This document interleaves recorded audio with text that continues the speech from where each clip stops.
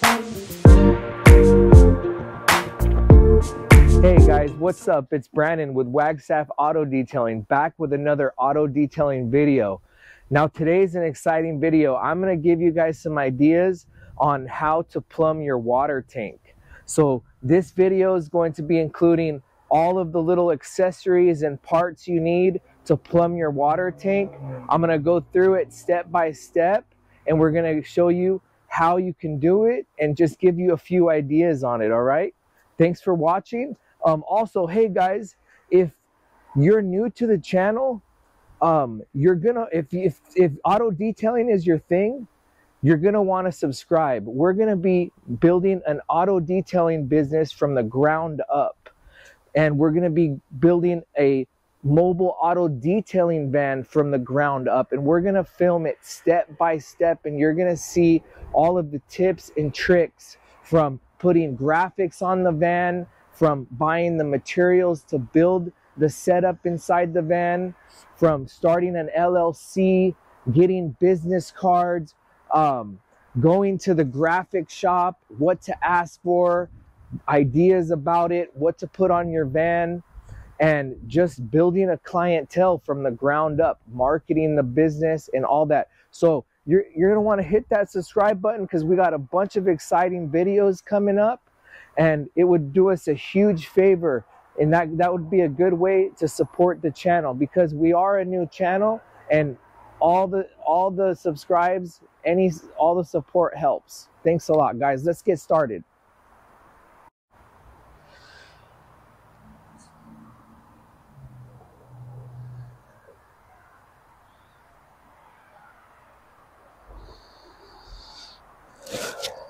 okay guys so I just got back from Home Depot a few days ago and I purchased all of the items I'm going to be needing to do the plumbing. I'm just waiting for the fabricators to build a custom frame that's going to be a water tank frame, a hose reel frame, generator slide out, a couple shelves, and we're gonna mount everything down. And once everything's fitted, I'm gonna start the plumbing process. But the idea of today's video, guys, is I wanted to kind of give you an idea of the accessories that you're going to need to do the plumbing. And I wanted to lay them all out and give you a close look at all the parts to give you guys some ideas of how you want to plumb your water tank. And there's not a lot of information about this on YouTube um, a lot of the professional builders they don't want to show you all the ins and outs of this guys because they want you to come in and buy the whole package have them build the frame have them set up all the plumbing have them set up all the electricity. Now that's great they do an awesome job but guess what? That costs thousands and thousands. It can be up to 20,000 plus to have them do everything for you.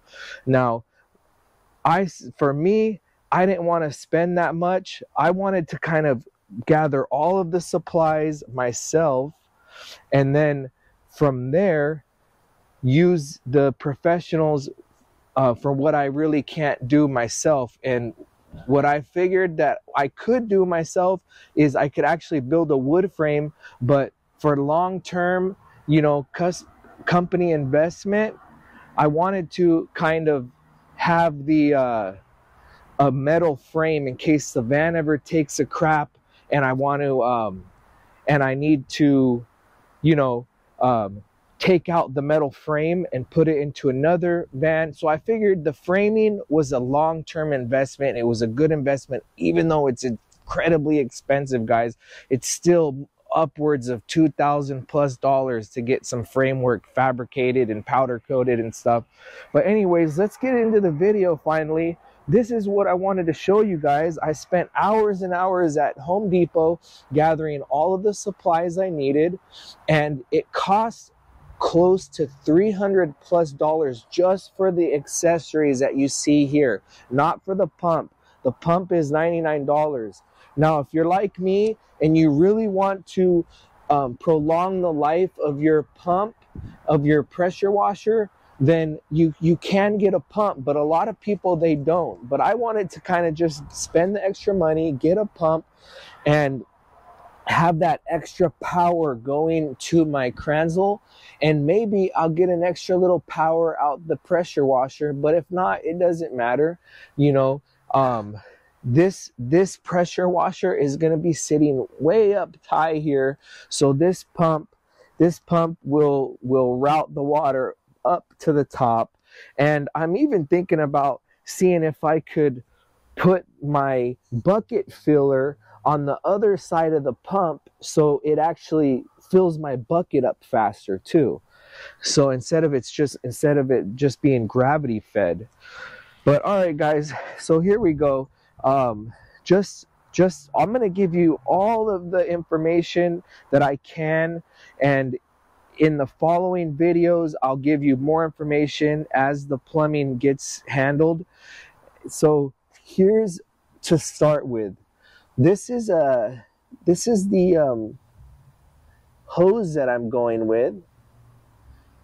Let's see if that focuses in and uh, it's 7 eighths in outer diameter and 5 eighths in inner diameter. And you can see that's a pretty big hole. I wanted to go with a pretty solid line. You know this this this hole is smaller. It came with the pump. And um, some guys go with a smaller line. So you can see that this just goes right in there and it's it's a little more narrow. I wanted more flow more water flow so i went with this one. And that's one thing you guys are going to have to decide for yourself. What uh tube what size tube you want okay? So there's about one to three sizes that you want to go with. And um, so that's the one i went with and if you do want a water pump, let me discuss that for a second. So here's the water pump right here, guys. And if you're not going to use the ones they come with, then you're going to need to buy these. This is um, a garden hose size, and this fits on that. So I just changed that up. All right. So after you do that, then you're going to want to put one of these on there. And then that's how you plug in your hose. And another thing about these little nipples here is some of they all look the same, but some are meant for different things like the threading is what I'm talking about. This threading right here actually goes with this metal threading. So that one fits in there nicely like that with the, the metal. Because if you can see, it's a, it's, here's another one here. It's a wider thread and these ones have a more narrow threading. So what I mean is you got wider space threading and more narrow. These narrow ones fit in here. So the plumbing can get a little confusing and that's why I wanted to make a video on it because it's not that confusing once you break it down like the way I'm about to break it down. So every time you guys do an action, which what I what I mean by an action is like breaking the hose. When you got to cut the hose to separate something, you need to plug in a nipple. All right? So, for instance, here's the hose that'll go here and then if I want it to go to this line, I got to cut the hose and then plug one more nipple. Okay? And that's how you got to do it. And like for instance, when when I'm when I when I have my valve coming out of my water tank, do I want my water tank to come out and directly do a 90 degree turn Or do I want to split it? Or do I just want to bring it straight out? So there's a lot of options. Now, these things are for the pressure for the pressure washer. So when you want to bring the pressure washer out, this is just a 90 degree elbow garden hose. So this will plug in right into a pressure washer. And when you're doing all the plumbing, if you see the pressure washer, it just goes straight. So when you have your pressure washer up on a shelf, you want this to go down because you can see I want my hose running down. So you're to want one of these to bring your hose down or to the sideways or whatever you want to do. But you definitely don't not want to get that because the alternative is is having your hose come out and then actually bending your hose and you don't want to restrict any of your flow. So you don't want to bend your hose. You want these elbows to do all the bending for you. And these little guys, these are your valves. You're going to want a bunch of these. And then also, these are reducers. So, for instance, here's a bulkhead for a uh, this this is a device that is used to make a water outlet in your water tank. Okay, so it comes out like this. And you see there's threading inside of it. so when you got that, so here's my outlet. It doesn't plug in. You see that? So that's why you get the reducer. So you got a reducer. And then you got your elbow. And then this is what the inlet looks like. Okay, and I got my outlet over there on the other side. I would show it to you guys. It's not down here. I should have had it all ready for you guys. But so for for my case, my I'm gonna I'm gonna seal this water tank up. I don't even really want to see it. There's gonna be a shelf on top. There's gonna be a, like a wall down here. There's gonna be some other little shelves and different things. And for the most part, what I'm gonna try and do is I'm gonna try and have a little opening here where I can come in and put a big uh, DI hose to fill up some of those water supply shops. But if I can't get into it and I want to just fill up with a garden hose, I'm going to drill into this tank and I'm going to install an inlet up here and I'll show you guys how that works. Uh-oh. Those things are heavy duty. It's all right. Let's see here. So when you drill in your hose, when you drill into your water tank,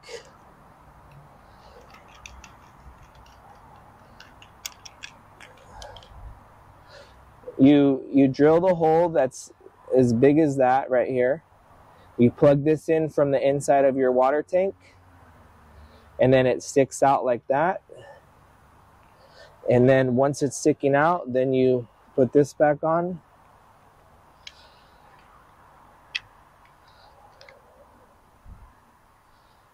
And once that's uh, back on, then you could put that. And what I'm going to do is I'm going to put one of these on. So it's coming straight out. And then I'm going to put that. Or I could actually, there's so many ways to do this too, you guys. Like, it's just, never ending. Actually, I could just bring the outlet right out like that. So I'll have the hose coming out on the top to fill up and then I put what you do is at the end at the end of the hose you put one of these. This is going to be a, uh, a garden hose. A garden hose can plug into right one of these. So that's going to look something like this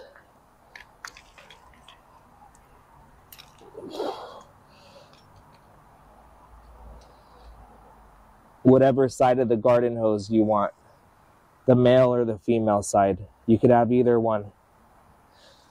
So so I'll have some length on this hose wherever I put that outlet and I'll be able to just plug it into the garden hose. And I bought the float. That's another thing. I have a float. It's an automatic shut off so you don't even have to be watching the water level. And you install the float inside. You put the the float attaches to the inside of this. And when the water level comes up the float mechanism floats to the top and it does a shut off on that. It closes the port. So that's kind of just some ideas and here's all the equipment that you know all the supplies. And kind of got sidetracked. Let me see where i where i was. So yeah you guys that's the um that's one of the ideas. So you can fill your water tank up with a garden hose and you can install your own outlet inlet. And um now when you're at the the bottom here when you're um, you got your outlet to your pressure washer there's two choices. You can have your outlet go into a T or you can go out this way if you're tied tight for room. And then the T can come over here after you run a little bit of line you have some room along here then so one part of the T goes to your bucket filler and the other part goes to your pump which is going to go up to your pressure washer. So next I'll talk about the bucket filler. Now do you want your nozzle to be at um, this side of the line when you have a bucket filler, you're going to need a valve. So you can have it at this part or you can have it down at the end. So basically, when you're filling, you can just hit the nozzle at the end and fill your bucket up. Or do you just want your your line to be with no valve and the valve over here? So there's there's a lot of room to play with and at every point that you're to cut your line and install a nipple and install a different device here to do different things, you're to always want to put one of these um, things here. I forgot what they're called. Hose clamps. all right, hose clamps. So you're to want all these hose clamps. You're to want reducers. You're to want valves you're going to want elbows and you know you want your T and if you want to be real fancy with it you want some nice metal ones for your pressure washer. Um, I bought two so I believe I'm gonna put one on each side. That's gonna look pretty cool. And that's why this stuff gets pretty pricey. So do you want a lot of valves you know do you want a lot of different functions? You want to have an extra way to fill up your water tank than just that big um, opening there? And do you want a, a pump to assist your pressure washer? So there's a lot of decisions to make and there's a lot of little supplies you're going to need to do that. And you know, you know like one of these and you're to want a bunch of these hoses. More you know better might as well have more lines than not enough. Like right here i pretty much looks like a lot of stuff but i'm probably just went overboard on maybe like a couple parts. In fact i might even be missing a couple parts. So um but yeah what you can do is make sure you save all your receipts and just go return all the stuff that you don't use and get your money back. Because guys can you believe it? 520 some dollars for the water tank and then three four hundred dollars to do the plumbing including the uh and that who no, no one tells you it was going to be that pricey it was going to get that technical. So yeah it can get real pricey and you could also save a little bit of money. I, I believe you can go with plastic instead of in this brass these are like nine dollars. You can get them for like five bucks if they're plastic i believe. And i think you can might you can do plastic here too. And you might be able to find some cheaper line. So there's a, a few ideas and to give you guys a broad overview of the preparation when you're about to do the plumbing for your water tank. So stay tuned guys for the next video when we actually plumb it and then when we actually get to use it and test it out and all that stuff. It's to be a long process. Right now, the van's about to get the graphics put on. We're waiting for the fabricators to call us to um, give us the frame we're going to bring everything back and we're going to uh, assemble it ourselves. And we're just we're like business is is is busy too. People are like calling us already. You know we're already on google and we have a few clients but i'm having to put all this on hold right now while this build is is going. So guys leave a comment. Like can you relate to having to put your business on hold to do this build? Because it's not easy. It's it's long and tedious and um, I had to I had a setup in here and I could have continued to operate with that setup. It was functional. But I knew that I was spending way too much time doing this and doing that and I could go on and on and I'm sure you guys can relate. I was reeling up my uh, pressure washer hose on my own. I was using a rechargeable uh, wet dry vacuum and there it is right there pretty cool uh, Milwaukee setup actually. And uh, I just knew that I was wasting my time and I was like, I, I, I had to stop and finally make the change. And we were going towards that uh, way anyways. We just had to take some breaks in between. It couldn't just we couldn't just go full force into building this van. It was step by step by step. And I was lucky enough to in between to actually, you know, get my hands dirty, get out there, start detailing and you know, just um get a feel for it.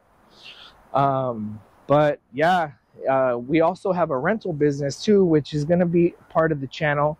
We're going to discuss how other side hustles can go in, in hand in hand with auto detailing. For instance, we have a small rental business. So with our fleet of rental cars, we're able to use this mobile setup to wash our fleet.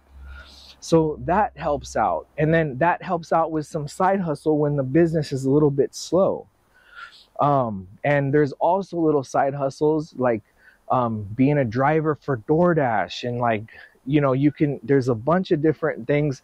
I've been a top dasher for doordash for going on three years. Um, i drive a prius and i pretty much maximized my profit out of that business and also with the business turo. So we're going to go ahead and discuss how other side hustles can go hand in hand with auto detailing. And um, but yeah guys so with that with the next video coming we will see some new progress Thanks for watching, guys. And if you haven't yet subscribed, please hit that subscribe button, like, share. We really appreciate it. Have a good day.